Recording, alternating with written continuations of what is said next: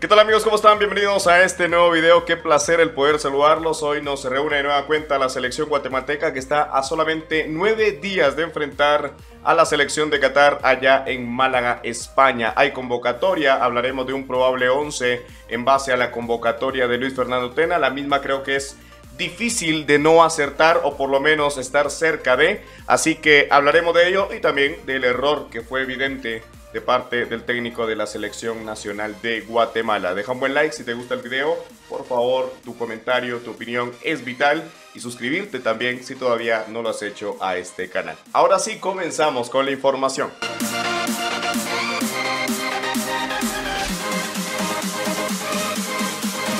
Y bueno, comenzaremos hablando de la convocatoria de 18 jugadores, la cual entregó Luis Fernando el Flaco Tena. Esta convocatoria que involucra a los dos guardametas Ricardo Jerez y Freddy Pérez. Recordemos que Nicolás Hagen no pudo venir por el compromiso que tendrá con el Hancam y recordemos que esto no es fecha FIFA, se ha hablado durante mucho. Así que Ricardo Jerez y Freddy Pérez los dos guardametas. En el caso de los defensas centrales lo componen tres Hablamos de José Carlos Pinto de Comunicaciones, Kevin Ruiz del Chelajú Mario Camposeco y también Nico Samayoa de Comunicaciones. En el caso de los laterales también cuenta con tres, hablando de José Ardón de Antigua Guatemala, de José Morales de Municipal y Steven Robles, el pelón de Comunicaciones. Un poquito limitado en esto hay que decirlo, ¿no? Es cierto, es un partido, juegan dos de tres en su posición, siempre habrá un recambio ya sea para los laterales o para el caso de los centrales, pero es eh, un riesgo, creo yo, hasta cierto punto, aunque en el caso de los defensas centrales hay un comodín, como lo puede ser Oscar Castellanos, que precisamente está en la lista de volantes junto a Chema Rosales, Rodrigo Sarabia del Plaza Colonia, Chucho López, también de Municipal, al igual que Chema, Oscar Castellanos de Antiguo Guatemala y también Alejandro Galindo. Ya con los extremos hablamos de Carlos El Cuilapa Mejía, Rafael Escano y Oscar Santis. Y como delantero queda Darwin Lom y Arquímedes Ordóñez, aunque Arquímedes sabemos que lo ha utilizado mucho más por afuera, pero es una posibilidad. Los seleccionados estarán concentrando a partir del próximo domingo, esto posterior a la jornada obviamente, la cual se lleva a cabo a partir del día sábado y se viaja el próximo miércoles 19 hacia Málaga, España, con esta delegación de 18 jugadores que enfrentarán a la selección sede del Mundial del 2022 hablando de Qatar. Hablemos también del error de Luis Fernando Tena, el cual no necesariamente es incluir en la lista a José El Chema Rosales, sino la forma en que se da, porque evidentemente es un error en el tema de la planificación, en el tema también de la comunicación, ya sea directamente de Tena o de algún integrante de su cuerpo técnico que se encargue de los listados, de las convocatorias y de todos los trámites que la federación debe hacer ya entregados los nombres que podrán representar a la selección guatemalteca. Lo de Rosales fue un tema que primero estaba, posteriormente hicieron colocar otra vez a Aslin Rodas en la lista por José Mario Rosales, que hasta cierto punto no sabemos por qué estaba por delante de Aslin Rodas si él viajó a Estados Unidos, incluso siendo titular en el segundo compromiso ante la selección de Honduras. Obviamente esto pues no está de más señalarlo, es un error que se tiene que corregir. Afortunadamente pasó para un partido amistoso.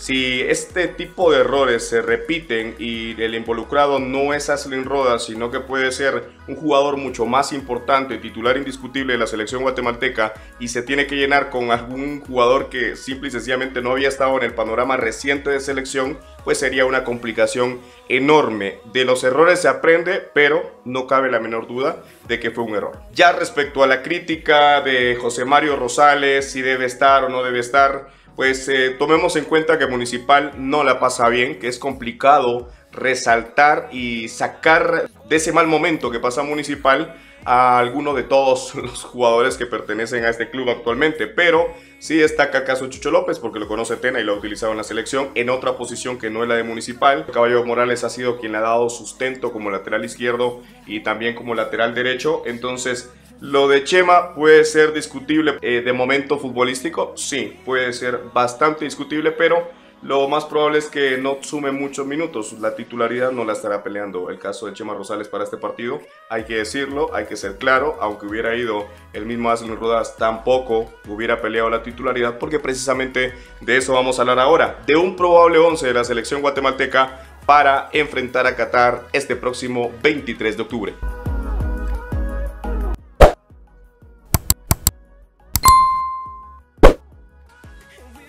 Y bueno, no sé ustedes, pero me parece que es bastante básico el hacer un armado de la selección nacional eh, de Guatemala para este compromiso, teniendo solamente algunas dudas pequeñas, como por ejemplo acá tenemos esta alineación. Sabemos que Ricardo Jerez será el guardameta de este compromiso, él es el segundo portero de la selección guatemalteca en el orden que maneja Atena. El tercero actualmente es Freddy Pérez, en algún momento lo puede pelear, por supuesto, pero me parece que no hay duda. Y Ricardo Jerez será el guardameta para este compromiso. En el caso defensivo, pues hablamos de José Carlos Pinto, que forma parte de una base por mucho tiempo en Selección Nacional de Guatemala con Amarini Villatoro y ahora con Tena, quien no lo ha movido, quien lo ha tenido en los partidos importantes y solamente lo quitó en el partido contra la selección de Honduras, al igual que Gordillo. Acá me genera dudas si será Kevin Ruiz el acompañante de eh, José Carlos Pinto. Por ahí existe la posibilidad de que en realidad sea Samayoa quien juegue de la izquierda hacia afuera, porque hay que decir así, Samayoa sustituyó como tal a Gerardo Gordillo contra Honduras y Kevin Ruiz sustituyó como tal, como central derecho, a el caso de José Carlos Pinto. Entonces yo pongo a Ruiz, pero tranquilamente podría ser eh, Nico Samayoa. En las laterales no hay demasiada duda. Está Steven Robles, está Caballo Morales jugando por el costado de la izquierda.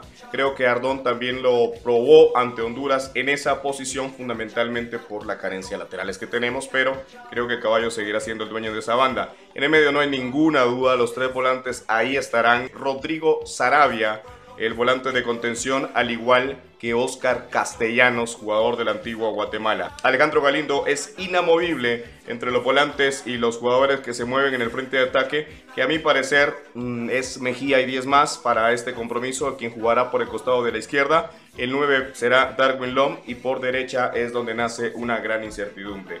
Puede ser Oscar Santis, obviamente. Puede ser un Arquímedes Ordóñez. Puede ser un Arquímedes Ordóñez, pero que no nos sorprenda Atena volviendo a hacer exactamente lo que venía haciendo desde hace ratito, teniendo como prioridad siempre a Rafael Escala. La misión al fútbol es apoyar, vamos ganando